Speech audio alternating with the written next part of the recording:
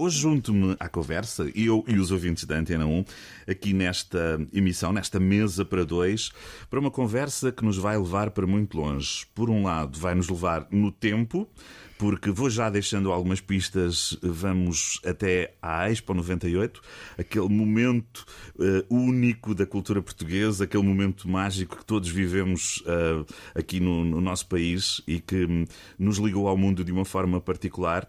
Vai nos levar esta conversa também a atravessar o Atlântico, devemos de ir ao Brasil, uhum. mais precisamente a São Paulo, por exemplo, se calhar a outras localidades, à Lairei. Havemos de passar por Tavira e hum, havemos de passar por tantos outros lugares que não vão caber nesta conversa, porque a minha convidada, que hoje aceitou vir aqui a esta mesa para dois, tem um percurso que uh, é extraordinário e é fascinante e precisa de muito tempo para ser contado, mais do que temos hoje, mas acho que vamos deixar aqui pistas muito e momentos muito interessantes de conversa.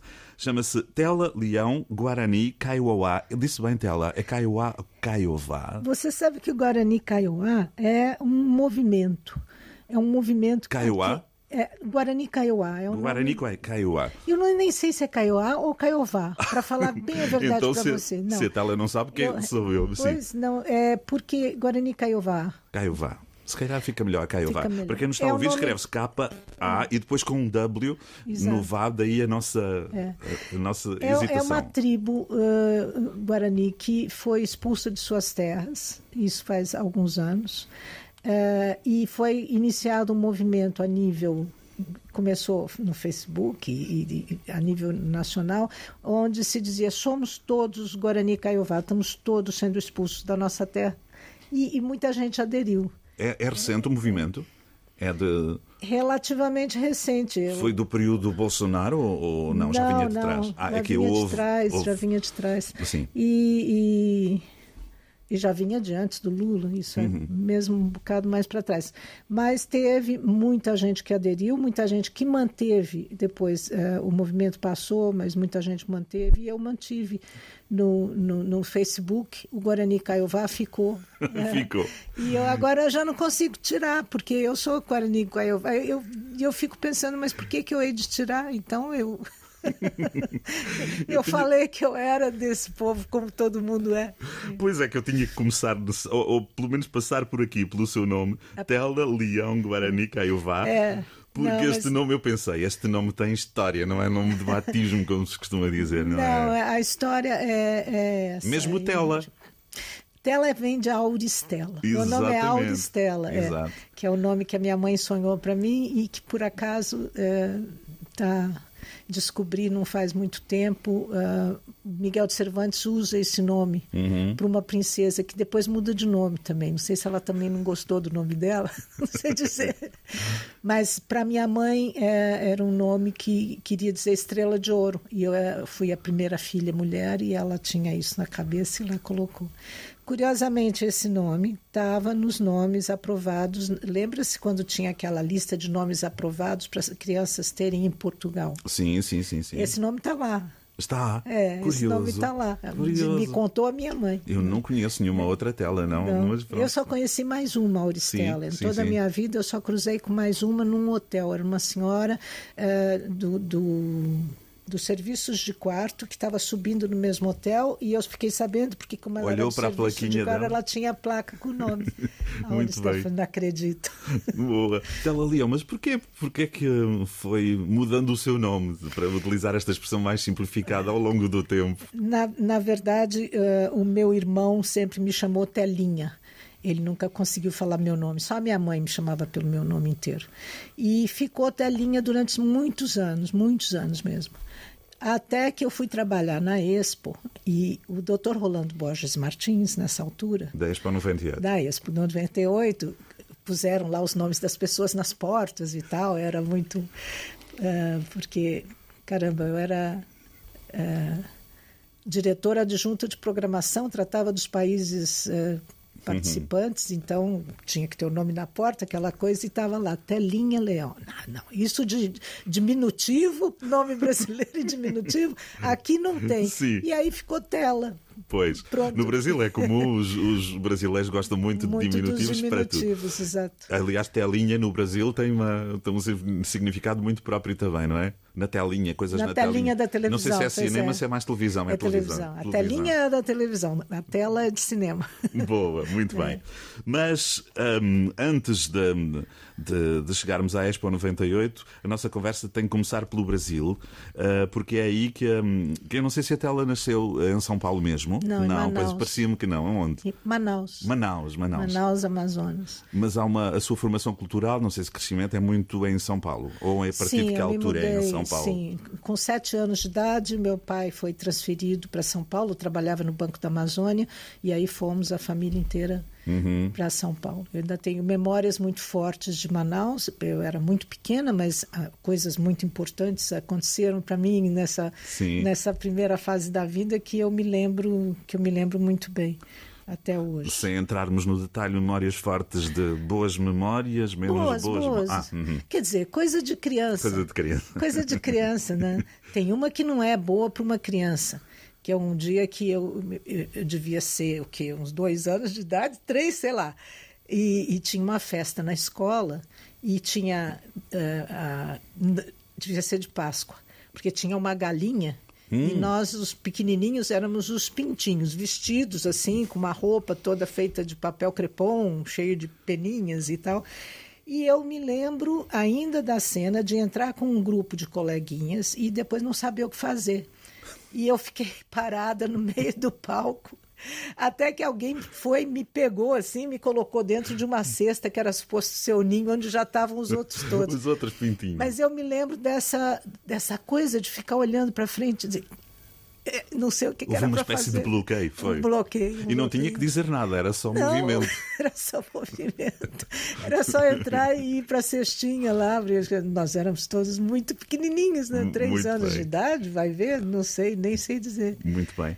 Uma, um, um, dos motivos, um dos desafios que nós fazemos aqui aos nossos convidados, nesta conversa que se chama Mesa para Dois, é exatamente nesta mesa imaginária trazermos, um, trazermos comida, pratos, uh, culinária uh, cultura alimentar de vários países para cima da mesa. Eu fiquei muito curioso uh, para saber o que é que a tela uh, Leão iria escolher. Se me traria algo, ou poria sobre esta nossa mesa algum prato de São Paulo, ou já agora de Manaus, de Manaus. se se deixaria seduzir é. pelo facto de estar em Tavira, que é uma das cidades de referência da cultura mediterrânica, da dieta mediterrânica, por aí, Entretanto, trouxe-me ali uma dobrada à moda do Porto, mas isso é outra conversa, já lá iremos, cantada. O que é que lhe apetecia pôr sobre a nossa mesa imaginária, que tem muito a ver consigo? É, é pato no tucupi.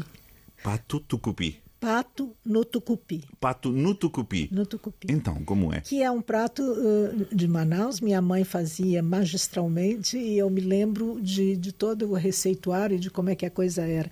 O pato no tucupi, primeiro assa-se o pato muito por bastante tempo, para ele já ficar bastante macio, e depois ele vai cozinhar no caldo do tucupi. O tucupi sendo um caldo que é tirado da mandioca brava Mandioca brava é a mandioca que ainda, que ainda tem veneno, né? ela precisa ser fervida durante muitas horas. E, uh, e dali resulta um caldo cor de âmbar. É uma cor muito bonita, é um amarelo, amarelo âmbar e um pouco transparente. Aquilo tem um sabor e maravilhoso, maravilhoso, mas é indescritível porque não tem nada parecido com aquilo uhum. para te dizer, olha, parecido com não. E, e, Para já começa também logo pelo olhar, não é? Pela é, cor que é. Sim, sim. E, e, então o pato vai depois cozinhar dentro desse caldo por mais um bom tempo com uma erva chamada jambu. O jambu é uma erva é, que tem uma florzinha de minúsculas pétalas branquinhas que quando a gente come é, os lábios ficam adormecidos. Então, Sim eu não sei te descrever muito melhor que isso, mas é muito gostoso. Então, põe-se esse, esse, o jambu também é usado no, no tacacá. Tacacá, tacacá. você já deve ter ouvido em alguma música. Tacacá, não tenho memória. não é, tenho memória. É, é um caldo uh, feito com o, o tacacá é feito com o tucupi, que é da mandioca, a goma, que é também da mandioca, que é, Uhum. é, uma, uma coisa esbranquiçada e gomenta, assim, parece Sim. uma goma mesmo, e o jambu e camarões. É, é uma coisa que se toma em Manaus e em Belém à tarde, quando está bem calor, você vai tomar aquele prato de sopa bem quente e parece que refresca. E, e então o pato no tucupi era uma das dos pratos prediletos da minha mãe que ela fazia muitíssimo bem. Depois o pato fica desmanchando de tão bem cozido que fica depois de tanto tempo. Hum, Muito bem. E é muito bom. E depois com farinha, farinha d'água, farinha Tela Leão, mas esse prato ficou nas suas memórias de lá de, de Manaus? Ou, ou- Não, Depois em São Paulo a minha passou mãe o mar a- para aqui? A minha mãe não, para cá nunca passou, porque a minha mãe fazia isso em São Paulo. Porque, Nunca lhe assim, ensinou, tinha... Tela? Não. eu aprendi. Eu Ah, te acabei de, te- de, de te dar a receita. Era capaz de repetir, mas o Pois, eu não percebi mesmo se essa receita era porque sabia de memória, se nunca se atreveu É. a fazê-lo. Não, sabe fazê-lo. Sim, sei fazer, mas não, não se consegue é o tucupi. Ah, O tucupi, eu nunca vi alguém. Se alguém estiver ouvindo essa rádio, souber onde que se compra tucupi em Portugal, aqui no- no Hotel me, me contacta que eu vou lá atrás para comprar. E jambu também. Eu sei que o jambu. então faz poderia... tucupi ou descobriu algum condimento em Portugal que se aproxime? Não. É, Não, não. não, não dá mesmo. Não, pode fazer, pode inventar o que quiser, mas não, vai é ser mesma no tucupi, não. Não é a mesma coisa. Moqueca de peixe você consegue fazer bem em Portugal, porque Sim. encontra os ingredientes todos. Sim, sim. Mas a- a- o tucupi eu ainda não encontrei. Uhum. Já encontrei eh, o, o cupuaçu no, no supermercado em Olhão, Sim. Congelado. O cupuaçu é essa fruta tropical que é também é um- uma delícia dos deuses, eh, que a gente usa para fazer sucos e doces. Não é uma coisa para se comer sozinho assim. não. Sim. É, e, e já fiz torta de cupuaçu, porque vou lá em Olhão, compro ah, os, os pacotinhos congelados e, e faço. Ou seja, a Tela Leão está aqui no Algarve, em Tavira, onde a doçaria é, um monumento também, mas há doces, que todos os doces têm o seu lugar. exato. As exato. coisas bem doces. Outra memória forte de Manaus que não tem a ver com comida. Não tem a ver com comida, tem a ver com ah, ah, minha primeira professora de piano, Sim, professora Ivete Biapina. Ainda me lembro bem do nome dela. que bom. e dela também. Claro. E também éramos todos muito pequenos. O meu irmão, dois anos mais velho do que eu, era o, era o aluno predileto dela, porque ele era muito talentoso e começou a aprender muita coisa muito cedo.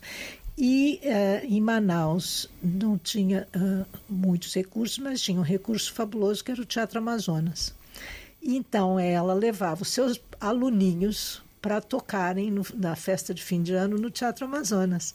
Então, para uma criança, a referência que você fica daquilo, que não sai nunca mais da tua cabeça, quando eu, depois de muitos anos, em 2008, fui a Manaus, fui visitar o teatro, eu tinha aquilo muito vívido na minha memória, só que, claro, para mim era muito maior, porque eu era tão pequenininha, né? porque eu olhava tudo assim para cima. O teatro pareceu mais pequeno, de repente. Parecia, de repente, mais pequeno. Claro, é natural que isso aconteça.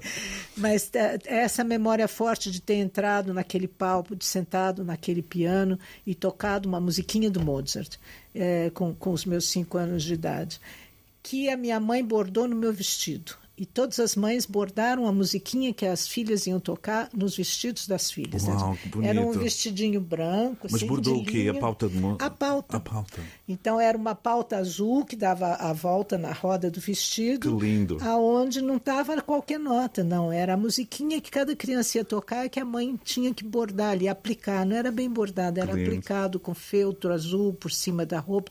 Mas eu tinha o meu. A, a professora achava que isso ia ajudar a gente a não esquecer. A conversa desviou-se, eu não sei se tinha completado a sua, a sua A receita. receita ou se a nossa sei. mesa estava completa, porque entretanto também falou do doce. Vamos, Mas vamos- enfim. Vamos para o doce. é. Vamos para o doce. Mas ainda a propósito de, de, de Manaus e dessas memórias, terá muitas outras. E a Amazonas? A Amazonas. A Amazônia. A Amazónia. O tea- para além do Teatro Amazonas, lembrei-me agora, porque é ali. Sim. É, também a lembrança também é muito forte. O meu avô português, da Serra da Estrela, de Uau! Manteigas, esse dado. casou-se com a minha avó da Guarda. Tinha ele 17 anos e ela 14. E foram-se embora para o Brasil e foram parar em Manaus. porque já estava um irmão mais velho dele lá. Ah, sim. E pronto. Então essa coisa e foi lá que depois eles tiveram a família toda, filhos, netos, bisnetos. Uhum. Nunca perderam o sotaque português. E Não? Esse, nunca, nunca, nunca. Isso é muito interessante. É, é, isso do lado da minha mãe. Do lado do meu pai, é muito mais antiga. A ascendência portuguesa é de Miranda do Douro. E foi para o Brasil nos 1700 e qualquer coisa, uh, um senhor chamado Coelho de Miranda. E, Miranda do Douro, os é. E, e meu sobrenome é de Miranda Leão. E esse sobrenome foi dado na altura porque ele e o irmão, eles eram comerciantes, tinham barcos, porque na região da Amazônia é, tudo se faz. É um meio de transporte muito utilizado. E num dos primeiros. Uh, das primeiras revoltas que aconteceram contra uh, Portugal, contra. Uh, esse, esses meus antepassados se colocaram ao lado do rei de Portugal e formaram um, grupo de pessoas ali para suportar, para lutar por, para, enfim, uhum. e cederam os seus barcos. E depois que aquilo passou, uh, o, o, o rei chamou-os. Eu não sei se isso foi uma cerimônia qualquer oficial ou não oficial ou oficiosa, mas chamou esses meus antepassados de o, o principal de o Leão de Miranda, pela sua bravura e não sei o quê. Então, esse meu antepassado resolveu jogar o coelho fora o sobrenome Coelho e adotou de Miranda Leão como sobrenome de família.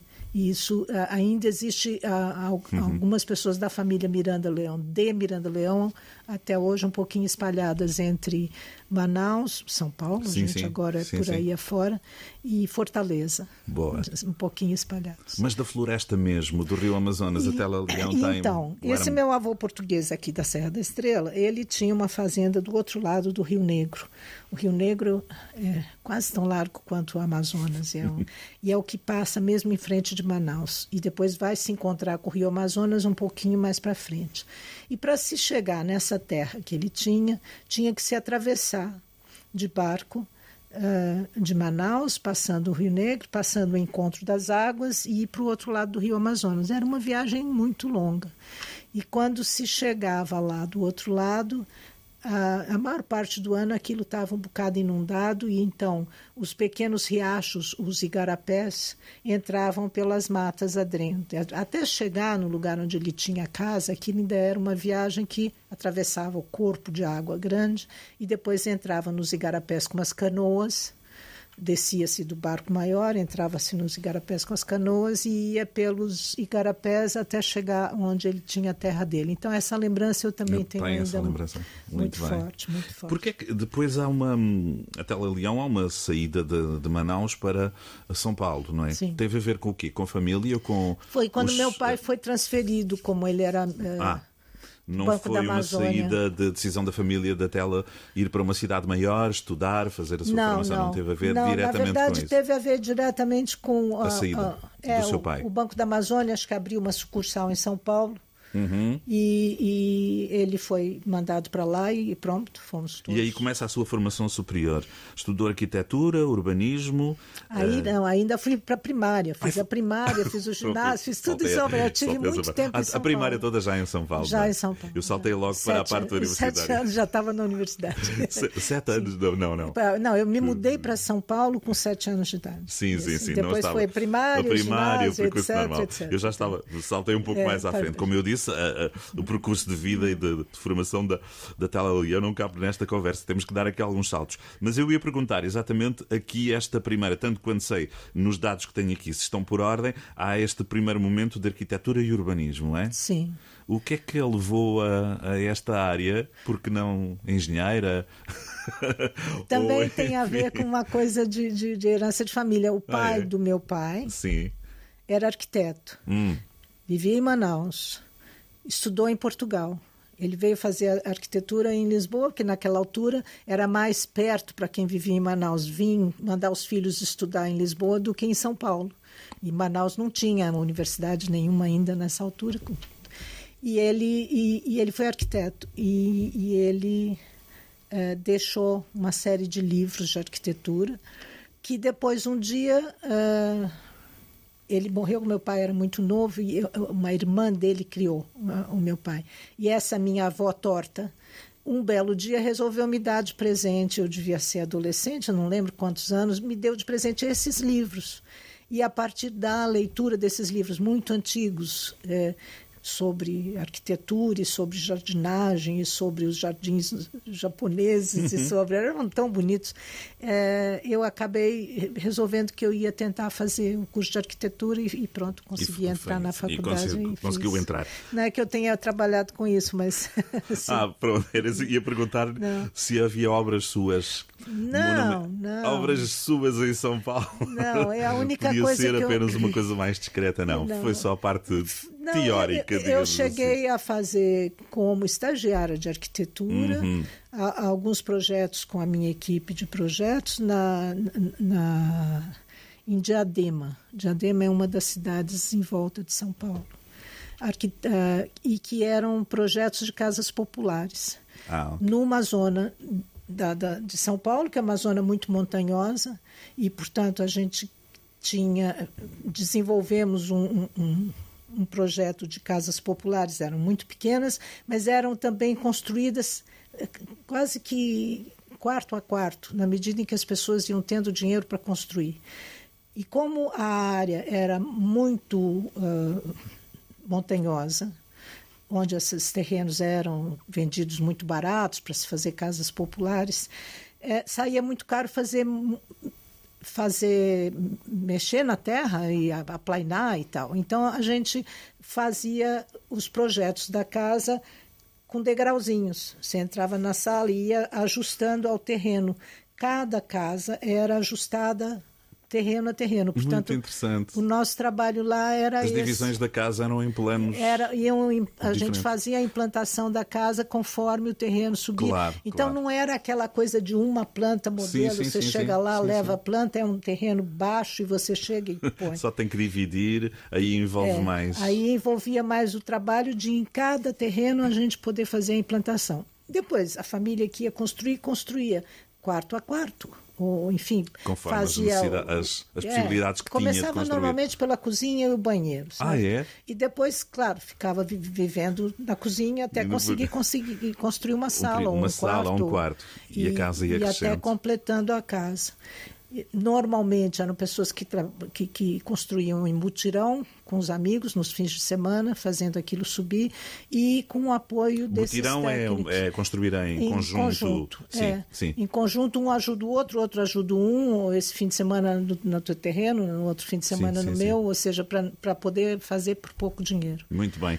A comida já tinha ficado lá para trás, mas apenas aparentemente, porque a primeira escolha musical, ou uma das escolhas musicais que a Tela Leão trouxe, tem a ver com comida e com um prato tão português. Conte-me lá de onde vem esta canção, este tema que vamos ouvir a seguir. Isso vem do tempo que eu fiz teatro como atriz Sim. e eh, participei de uma montagem eh, Fernando Pessoa. Foi o meu primeiro contato com Fernando Pessoa que me apaixonou. E, então era uma peça de teatro toda feita com, com poemas de Fernando Pessoa e o Murilo Alvarenga, eh, um compositor genial que infelizmente morreu ano passado, eh, ficou encarregado de criar músicas para os poemas do Fernando Pessoa e ele conseguiu, na minha opinião modesta, encontrar em cada poema do Fernando Pessoa a música que estava lá dentro. Porque quando eu depois ouço eh, cantar essa, que, é- que, que, que eu acho que não podia ser outra. Sim, sim. É um samba de break. Ele faz disso um samba Um de break. samba de break. É. Que, que o samba de, de- break é que tem, num certo momento, uma- um recitado. né? Exatamente. Para e recita um bocadinho aquilo. Um samba de break que fala de dobrada. Dobrada a moda À- do Porto. À moda do Porto.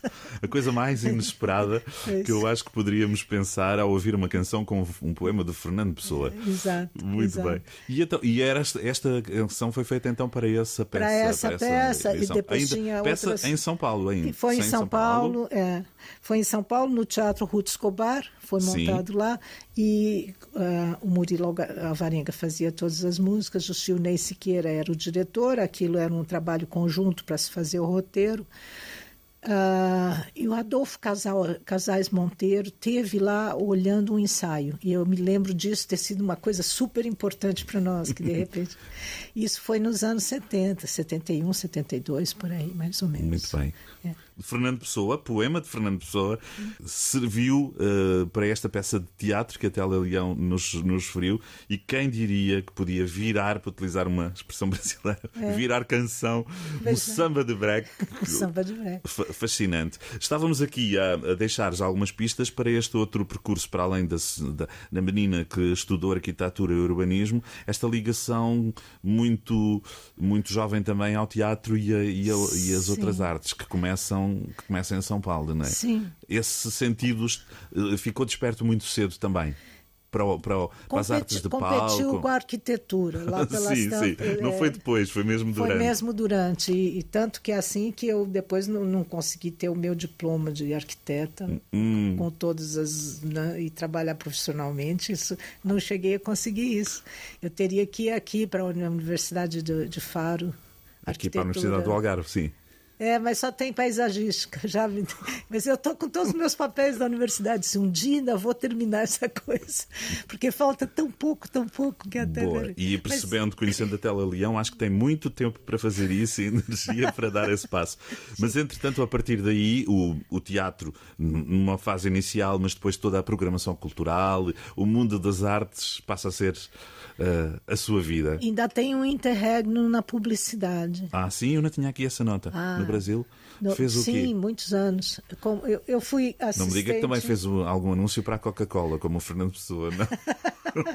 não, não, não, trabalhou não, para a Coca-Cola. Acaso, por acaso, a, a, agência que faz a Coca-Cola, nunca trabalhei com essa agência. Ah, pronto, meu, sim. Meu então marido, na época, trabalhava, eu conhecia aquela sim. turma toda lá da Coca-Cola, que era Macan Erickson. Não, mas eu trabalhei uh, em duas agências de publicidade e depois em duas produtoras de publicidade, de cinema publicitário. Uhum. O que é um grande aprendizado. Quem teve essa sorte na minha altura deu uma grande sorte, porque como a publicidade tinha dinheiro, a publicidade trazia toda a tecnologia, nova tecnologia, que depois o cinema usava nas beiradas, porque o cinema brasileiro também nunca trabalhou com muito dinheiro nem era uma coisa de ter, então era sempre meio secundária. Mas quem Nesse campo também na... somos irmãos portugueses é, e brasileiros. Exato. Na publicidade você tinha a oportunidade sim, sim. de aprender a, a, a lidar com, com, com, coisas de, de... É um campo criativo. Hoje em dia deve ser sim, completamente diferente, mas naquela altura era um campo criativo muito grande. É, e de liberdade? ou, ou, tinha alguns constrangimentos nessa criatividade? Eu acho que é, o constrangimento é o produto, né? Ah. Pois, há que vendê-lo, não é? O produto em si. Mas é, por acaso eu dei um bocado de sorte, porque eu trabalhei com alguns diretores que eram excelentes, muito bons, ganhavam prêmios em Cannes e tal. Eu fiz assistência de direção para alguns, por alguns diretores com quem eu aprendi muito, muito, muito. É, e eram gente que é, faziam o que podiam para não mentir no, no, no que filmavam apesar de não ser às vezes possível. Porque quando você vai filmar, por exemplo, um, um fazer um filme de, de sorvete, não, de, gelado, de... Sim não dá para você filmar sem ele derreter. Você põe embaixo da luz e ele derrete. Então você tem que aprender a fazer aquele de que é feito com banha de porco, que imita. Ah, põe pois, banha de porco, põe as, as cores e, e, e, aquilo é mexido de uma tal maneira que fica com a textura muito parecida mas não derrete embaixo Ou da seja, aldrabar o produto, pronto. Eu é? pensei que a Tela Leão ia dizer tem que aprender a gerir o tempo, a trabalhar mais depressa, estava a imaginar. Isso, isso também, isso também. Isso é, vai de tal maneira que sim, você sim, aprende e fica assim até hoje, né? Muito bom. Mas, mas há também aí a perspectiva nesse campo da criação publicitária, a perspectiva da escrita, da criação, da, da, da utilização da própria linguagem, imagino eu, não é? Das palavras certas para o Sim, isso certo. para a área do pessoal. E depois, também num tempo em que custava extremamente caro você colocar um filme qualquer no ar. Pois. E então uh, as coisas tinham 30 segundos ou tinham 15 uhum. segundos, ou no máximo um minuto, e, e, e, e, claro, você tem que aprender ali, uh, uma, um poder de concentração. Eu não fiquei muito com isso, nunca trabalhei uhum. nessa área, tanto que eu sou muito prolixa, eu falo demais e eu acrescento, eu as voltas. Eu não tive esse treino. Aqui não está a falar demais. O que é demais é o seu currículo para caber aqui. Eu vou ler por alto, está no seu Facebook. Quem quiser complementar esta, esta conversa, a audição desta, desta conversa com a Tela Leão. É fácil encontrá-la. Procurem Tela Leão Guarani Caiová com K e W no, no, no, no V do Vai e vão encontrar um Facebook que é também uh, um lugar onde a Tela vai todos os dias. Já percebi, há sempre coisas novas para dizer. Sim. Assim, rapidamente, uh, o Instituto Musical de São Paulo, um, a Escola Pro Arte também em São Paulo. Já aqui, o Instituto Musical o quê? Foi aqui um conservatório. Um pequeno conservatório. O que, que aprende aprender o quê? Algum instrumento piano, específico? Piano. Ah, piano. Não foi voz.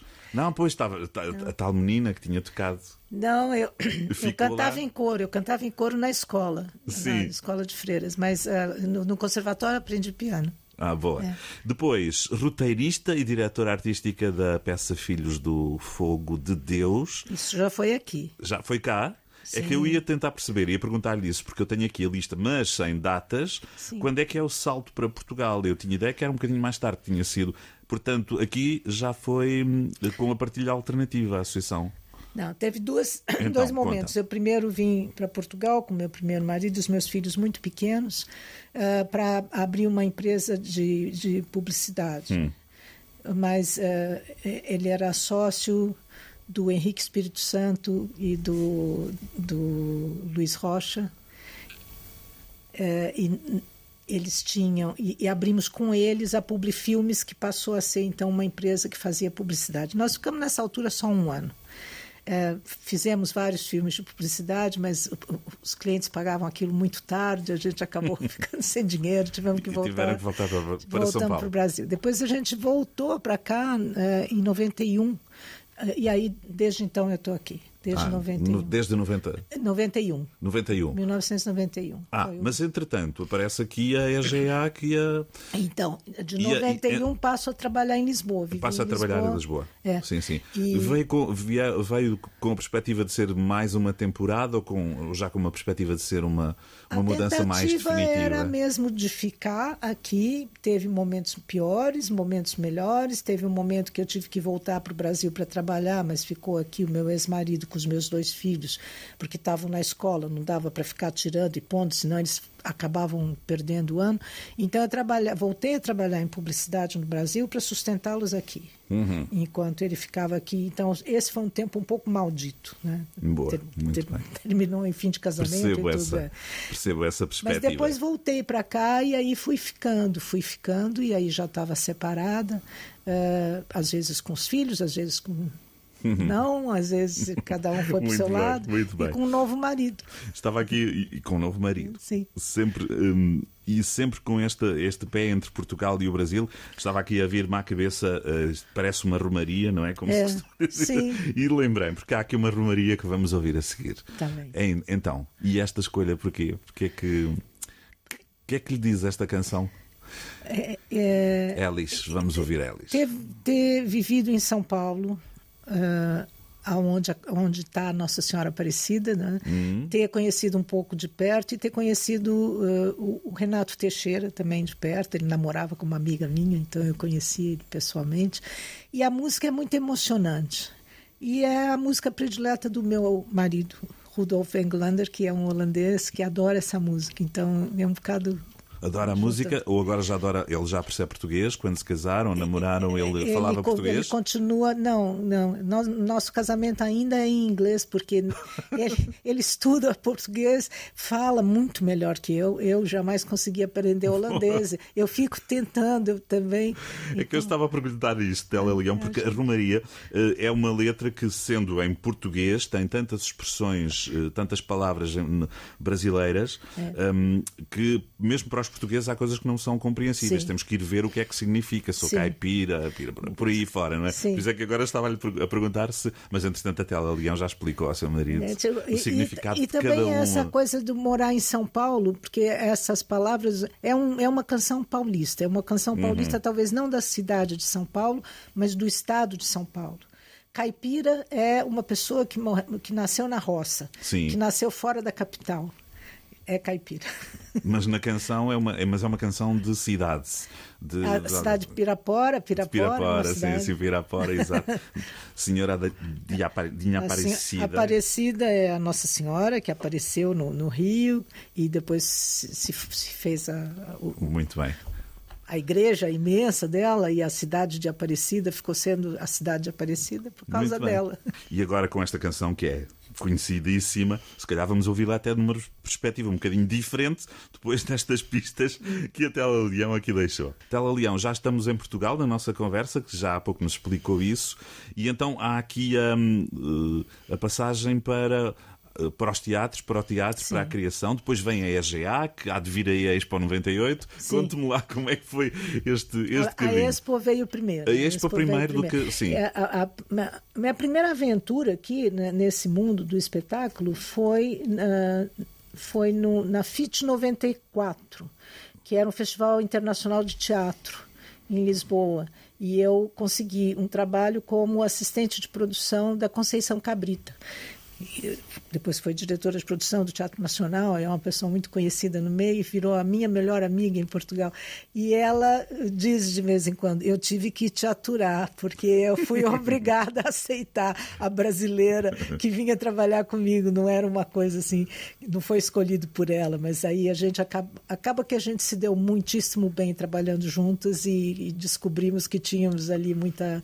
Alguém que vos juntou, é. se calhar teve essa perspicácia de Tal, perceber, conhecendo talvez, uma e outra. Talvez. Pode ter sido só sorte, não é? Mas pronto, mas foi, parece que não. Foi, foi boa, a Rosi Burguete, na altura, sim, sim, que sim. era a produtora da, da, da, do FIT Internacional. Uhum. E pronto, e a minha tarefa nessa altura era ir buscar uh, pessoas no, no aeroporto, era do welcoming. e ia. E, e, pronto. E foi por aí. E a Expo 98, como é que aparece esse convite para a diretora adjunta da programação cultural na, na Expo na 98? Expo 98 também vem. Não de... especificamente de um país ou de uma área, de, de, toda a Expo, olhar de uma forma mais global. Era isso que fazia. É... uh, uh... Foi a programação dos países participantes que não, que não lusófonos. Ah, sim, portanto havia Menos uma área mais específica. É. Sim. Então eram os outros todos. Sim. O que para mim foi uma sorte, porque eu dei a sorte de então ter uma experiência é, a, a, mais fantástica da minha vida. Eu, como tinha trabalhado com a Conceição Cabrita e ela foi contratada para fazer diretora de programação uh, pelo João Brits, e ela me chamou para fazer os países participantes, porque eu dominava muito bem o inglês. Uhum. Nessa altura, foi em 96, quando se formou primeiro, primeiro grupo para trabalhar as coisas da Expo, ainda não tinha muita gente que acreditasse na Expo e que quisesse ir trabalhar lá. E essa foi a minha sorte. Só sobrou para mim, como brasileira recém-chegada, por causa disso. Eu acho que o projeto foi tão, pensado de uma forma tão, tão grande, tão intensa, que muitos, muita gente teve essa dúvida, até muito no começo, perto. Sim. No começo, exatamente. No começo, sim. Depois eu acho que. Não... Até pela própria transformação é. daquela zona de Lisboa, e vivi Exato. isso também, porque estava em Lisboa, ninguém acreditava que aquela que enorme pronto. lixeira é. se pudesse resultar que pois ia é. ficar pronto que também. Ia ficar é? pronto. Exato. Então, Mas tinha tem... um Mega Ferreira que era o homem do sonho, que o do máximo do sonho, sonho. e que sabia que imagino que, aquilo, que aquilo ia acontecer, é. não é? Ele tinha certeza absoluta e ele juntou em volta dele e ele, claro que passava isso para as pessoas todas, porque a certeza dele era a nossa certeza também apesar da gente ter vacilado e teve momentos, o, departamento de animação, que era onde uhum. eu estava, era imenso, tinha quase 800 pessoas ali entre todos os palcos e todos os programas e etc, etc. Era muita gente trabalhando. E, e teve um tempo que deu a, aquela enfraquecida das pessoas acharem que não iam conseguir, aí o João Brites fazia umas reuniões, vamos falar disso e vamos não sei o quê. E eu me lembro de numa delas eu ter levantado e ter dito uma coisa assim: olha, eu não entendo por que, que vocês estão com esse medo, porque os portugueses chegaram no Brasil, desceram de um barquinho, olharam para a Serra do Mar, que era uma coisa enorme, e falaram: vamos subir. E subiram, subiram, escalaram, foram lá para dentro e fundaram São Paulo lá longe, lá e, e, fizeram isso tudo carregando os burros, pegavam no burro, levantava o burro em cima. Então, o primeiro caminho de, de Santos até São Paulo, é, pronto, é uns pedacinhos de, de de pedra, assim, colocados aqui e acolá, mas tem momentos que você eh, tinha que içar claro, mesmo. claro, As claro. coisas eram içadas de um, de um patamar para o outro, porque não dava para fazer. A concretização a da, da Expo 98 até hoje tem essa faceta muito, muito interessante, que foi construída não só por portugueses, claro, É. por gente de muitos outros países, mas ficou como. É, é um exemplo até hoje. Nós fizemos a Expo 98, portanto também conseguimos fazer outras coisas. Sim. Não é? É um belíssimo, um belíssimo exemplo. Antes que o tempo fuja, mas a conversa depois vai, vai continuar, vamos para uma terceira escolha da, da, da Tele Leão, no que diz respeito à música. Conte-nos, apresente-nos. Essa já é ah, o meu trabalho agora em Tavira. Essa é fruto desse trabalho em Tavira, que esse ano está no seu nono ano de realização, que é esse festival, a Festa dos Anos de Álvaro de Campos, que eu comecei a fazer com uma grande teimosia em 2015, a, a convite eh, do então presidente da Casa Álvaro de Campos, ah, que, que me desafiou, porque ele resolveu que ia re- fazer a festa. A Casa Álvaro de Campos, que existe há mais de Sim, sim, 35 sim, anos, sim. sempre fez essa celebração. Com a professora Tereza Rita Lopes, com uma coisa, organizavam coisas eh, de estudos e tal. E o Carlos Lopes resolveu que nos 125 anos do Álvaro de Campos Álvaro tinha que fazer Campos, uma festa. Ah, a armação do artista, do Vitor Correia, também fazia todos os anos uma peça de teatro. E ele me pediu para tentar programar uma coisa que aumentasse as participações. E então eu fui juntando essas pessoas num programa só. E em 2015 a gente fez um primeiro programa que já incluía as escolas e o trabalho com as escolas e, e as associações e os artistas que quiseram vir e as coisas que eles trouxeram e fizemos um primeiro programa. E depois, 16, 17, a gente deu sorte do 365 Algarve com a Dália Paulo nos ter dito, ok, nós vamos apostar em vocês. Depois a gente passou um bom período quando o 365 não nos quis mais, foi tentando sobreviver eu sei, de outra aí um maneira. momento complicado. Até, até que eh, a, a cidade no- no- nos adotou e, e vem dando apoio. E há dois anos atrás, em, em 2021, a gente conseguiu um apoio da DG Artes. Nesse momento que a gente tem esses apoios financeiros, aquilo dá um salto. E então, ah, um- um- uma das coisas que eu sempre pedi, tentei colocar nessa programação foi os artistas locais criando a partir Fer- de Fernando Pessoa e criando coisas novas e a gente conseguindo palco, conseguindo lugar para mostrar essas coisas. E essa música é uma das que foi composta nessa nessa nesse momento. A gente já tem 12, esse ano a gente pode lançar Um de disco. diferentes, pode, podemos lançar um disco, Um disco, de diferentes ou- ou então compositores. sim, sim. Nós já conseguimos fazer seis vídeos com Garantir Cultura, nos deu dinheiro para fazer seis Uhum. vídeos com seis dessas canções. Eh, e- mas já temos outras seis canções gravadas, já temos gravadas 12 canções que a gente vai tentar ver se esse ano que vem a gente consegue lançar de alguma maneira. Portanto, vamos ouvir um, um poema de Álvaro Campos. Todas É. as cartas de amor são ridículas, conhecem-nos, mas numa versão de fado, não é? Não é Mais bem de ou fado, menos. não é bem de fado. Tem um cheirinho, É não é? do fado tropical, Do é fado do grupo tropical. Fado Tropical, Pois, que o pessoal logo reconhecerá que é, que Sim, é uma sim, sim, belíssima sim. mistura, uma beleza. Já tínhamos um fado tropical do Chico também, Pois. que o Carlos do Carmo também abraçou. Mas Sim. é fado, vamos. Um português que ouça isso, não sei se é por saudade ou não. Talvez, talvez. Vai-nos cheirar a fado. Talvez. Vamos ouvir este tema. Se calhar é uma estreia mundial para além, para além de quem, das pessoas que o ouviram e viram no momento. Se calhar é isto. Não sei se anda a passar em algumas rádios daqui Na do Rádio Algarve. Gilão passou Na Rádio Gilão poucas vezes ainda. Muito bem. Mas acho que é, é a primeira É vez. É, não é uma beleza? Vamos- Eu acho uma beleza. O trabalho desse pessoal, aliás, de todos eles, nem posso falar aqui de um, mas esse é o mais engraçado. Tela Leão hoje trouxe-nos Álvaro de Campos, um dos momentos da festa dos anos de Álvaro de Campos, desta festa que se prolonga por vários anos, não é? E vai continuar. Não é só num momento, num dia, já atravessou vários anos e é ao longo do ano todo. Não, também. ela acontece, ela acontece de 15 de outubro, dia de nascimento do Álvaro de Campos, até 30 de novembro, que é o dia da Ah, morte tinha do ideia que vinha um pouco Pessoa. mais de trás. Não, são. Não, não. é- é- é nesse período. A festa mesmo acontece nesse Sim. período, a gente faz uma entrada no dia dos anos, faz ali a fe... a... uhum. o começo da história, normalmente com banda. Sim. É? Com banda, porque tem que ser, não tem país ibérico que não tenha banda quando começa uma coisa bonita, não é assim? Então, a, a banda faz parte. E, e agora, e termina com velório. Ah, no dia 30 a gente faz o velório de espírito presente, que na verdade é só a, a desmontagem da exposição das escolas. Sim, sim, e, sim. Então, ah, é, é, é, ela foi esticada assim dessa maneira para poder eh, dar tempo dos estudantes, os professores trabalharem com os estudantes no início do ano escolar e ter um material para expor nas duas últimas semanas de novembro. Então a gente depois compôs. E nesse momento ela está começando a ficar curta, porque tem muito mais gente querendo participar e trazendo uhum. projetos e, e fazendo propostas e, e, bares e restaurantes que vão pagando artistas para serem eles Exatamente. a fazer. E a coisa vai tomando... É uma iniciativa, eu já percebi isso, é. de, de assumida por toda a cidade, por todo o Conselho, até.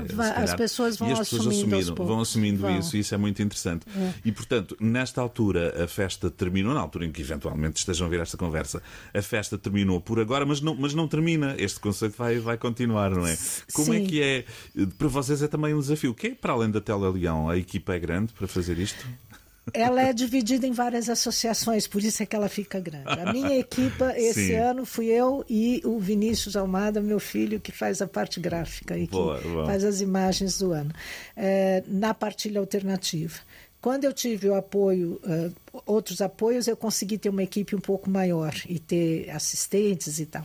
Mas como depois cada associação que participa faz a sua própria produção, a gente aí eh, consegue Uhum. Eu tenho um diretor técnico também, que é o Estelmo Barbosa, que vai dando os apoios que é preciso.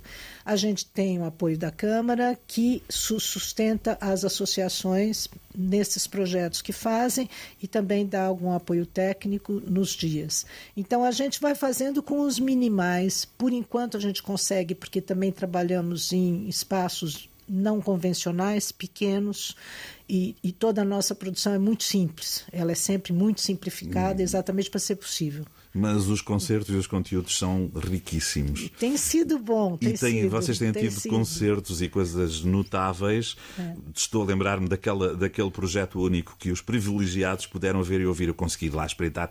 Uh, e é apenas um pequeno exemplo de muitos outros que poderíamos dar aquele concerto da Dulce Pontes com Maria, Maria João. João. na igreja, que foi qualquer coisa de único. Foi. Acho que foi mesmo emocionante, não é? é? E o que, como exemplo, e há muitos outros, procurem aí a, a programação, é fácil de encontrar. Festa do dos anos de Álvaro de Campos para perceber, dá para perceber também que cada vez que vocês querem trazer alguém, convidam, apresentam minimamente é. o projeto e a recepção é boa, porque o projeto é de facto fascinante. Sim, delas duas é uma coisa. Eu tive a grande sorte de ter proposto isso para elas na Expo de Saragoça. Sim, elas, onde, onde Portugal, a Tela Leão também esteve. É, Aliás, tava... só parênteses para fecharmos isto, estávamos a falar da Expo 98, mas a Tela uh, foi a diretora de programação da, da, do Espaço Português na Expo Zaragoza de 2008 e esteve também numa outra na Expo, Expo de Hanover, de Hanover em 2000. Em 2000 exatamente, exatamente. pronto já é perita em Expo, em Expos, mostrar Portugal nas Expos. Mas estava a dizer que esse projeto foi. Foi vinha... no dia de Portugal, na Expo de Saragoça, elas tinham concertos nesses Sim. dias. E eu resolvi pegar nessa né, a canção que o Murilo Alvarenga tinha composto, eu também tinha cantado, que Noite Serena, que é um fado, que noite serena, que lindo. Sim, sim. E pedi para elas cantarem juntas. E elas nunca tinham cantado juntas na vida. Eu lembro-me delas referirem e, e aí fizeram esse momento cultural do, do, do, da cerimônia do Dia de Portugal e era só essa canção que elas cantaram. E o, e o Mário Lajinha no piano. Uhum. E aquilo foi tão bonito, tão bonito, tão bonito, que agora esse ano passado, que eu consegui apoio da Dejartes, eu as uh, convidei a virem fazer. E, e aí, claro, estender para um concerto inteiro e mais variado essa eh, Uhum. Ninguém pensa muito como é que vai juntar Maria João do jazz com a Dulce Pontes, não é? Claro. Mas elas não casam bem? Casam bem, você teve lá. Muito bem.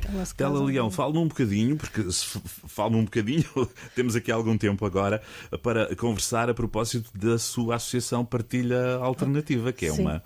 Eu acho que a Tela Leão tem muitas meninas nos seus olhos, mas esta é uma delas. Vou usar é. esta expressão muito portuguesa. O que é que faz exatamente a associação Partilha, que se chama Partilha Alternativa Associação? Associação, é assim por Exato. esta ordem. É, é. Sim. Ela, a partilha alternativa, eu fundei justamente para poder fazer a festa dos anos de Álvaro de Campos e para poder, a partir dela, tentar conseguir apoios, porque depois de, de chegando aqui no Algarve, eu fui confrontada com esta realidade, que é a realidade. Já agora, desculpa interromper aqui, não gosto de fazer isso, mas não se perca. Como é que vem parar a Tavira e ao Algarve? Essa foi uma coisa estranha, porque é, é, primeiro eu vim como assistente do, do- do primeiro que ia ser comissário de Faro Capital Cultural, Sim. o engenheiro Antônio Lamas. Ah, quando foi convidado, foi o primeiro a ser convidado a ser ah, comissário da Faro Capital Cultural. E perguntou a Simoneta Luz Afonso, que tinha sido minha minha chefa em Hanover, e ela me indicou para ele, para eu ser assistente dele. Então vim pela primeira vez com ele aqui ao Algarve e nós ah, andamos por aí, por todas as terras, fazendo levantamento. Existia um levantamento do- do da Secretaria de Cultura, na altura, ou era Ministério já, já não lembro. Teve Ministério, depois virou Secretaria, voltou a ser Ministério. Não é importante agora, Não sim. é importante. De qualquer maneira, dos espaços culturais existentes. Foi nessa altura que foi feito o Teatro de Faro. Uhum, não Teatro das existiam, Figuras, ai- sim. ainda não existiam muitos espaços feitos, formais e tudo, mas existia uma base de dados que só trazia esses espaços, os espaços formais. E, portanto, você olhava para aquela base de dados e tinha uma impressão errada de que o Algarve era um grande deserto cultural. Mas, na verdade, o que acontecia, e aí a gente fez um levantamento que depois entregou para o próximo, eh, pro- pro próximo comissário, que foi de todos os espaços que eram usados no Algarve inteiro para se fazer as coisas, que eram os espaços que se usam até hoje, que são eh, pronto. É Sim, a sim, sim, sim, é o pátio, Exato, é o- exato, há é- muitos espaços. é- é, que são usados culturalmente, mas por acaso não estavam naquela base de dados nessa altura. Organizei, foi o meu trabalho nessa altura, foi organizar esses dados que era para o pro professor Antônio Lamas, depois a gente entregou, quando ele não ficou, nem eu. E daí, daí ter vindo para o Algarve. Não conhecia o Algarve, Tela? Não, eu não, então. não, no tempo que morei em Lisboa, não, não, não Já se deixou conquistar pelo Algarve, entretanto. Agora sim, sim. Mas fui, tive, tive um aprendizado difícil, porque eu vim parar em Tavira porque eu recebi um convite para vir trabalhar em Tavira depois de ter eh, terminado um, terminado um trabalho em Lisboa. Uhum. E só que cheguei aqui e não era de verdade, não era de verdade. O- Não existia a pessoa que me convidou não podia me contratar, eu não Sim. tinha esse poder. Uau! E eu já tinha feito a mudança. Eu depois ainda fiquei um tempo morando aqui já, mas trabalhando em Lisboa, porque eu fiz Sim, sim, a, a Expo de Saragoça, eu já morava aqui. Quando eu fiz o Centenário da República, eu já morava aqui, eu pegava o trenzinho, ia para Lisboa, passava uma semana lá e depois no fim de semana voltava. Já foi um, um bocado assim. Até que, com esse convite do Carlos Lopes para fazer essa festa em 2015, eu resolvi abrir a associação para criar uma base para mim e com essa associação poder ir procurar apoios financeiros para essa base existir. Enquanto isso, me aposentei com um salário mínimo daqui, outro salário mínimo do Brasil.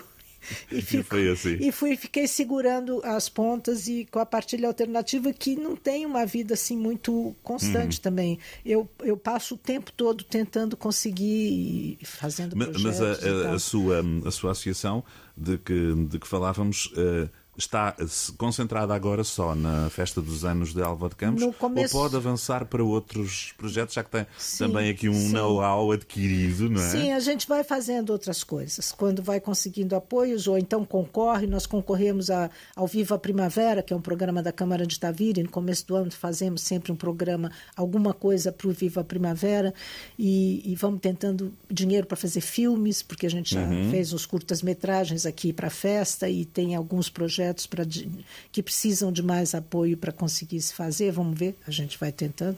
Sim. É, vai, vai concorrendo. Depois se vai dar ou não, não sei, mas não, não, não deixamos de tentar.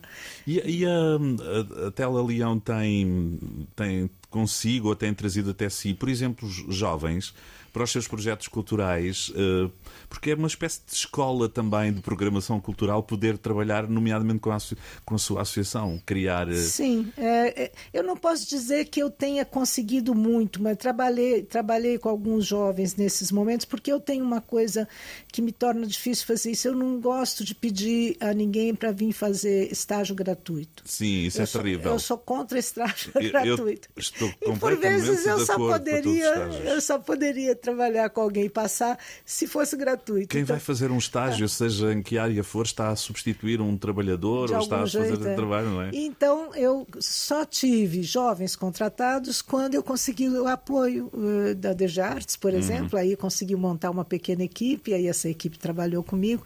Mas o pessoal vai se organizando também em associações e como a gente trabalha juntos eh, na, nas coisas, você sempre tem como ir passando também um bocado Uh, e o fato das escolas terem aderido ao projeto, a essa altura, você vem desde 2015, em nove anos, já tem gente que já terminou a faculdade, participou do primeiro e agora já é formada em alguma coisa, em algum lugar. Né?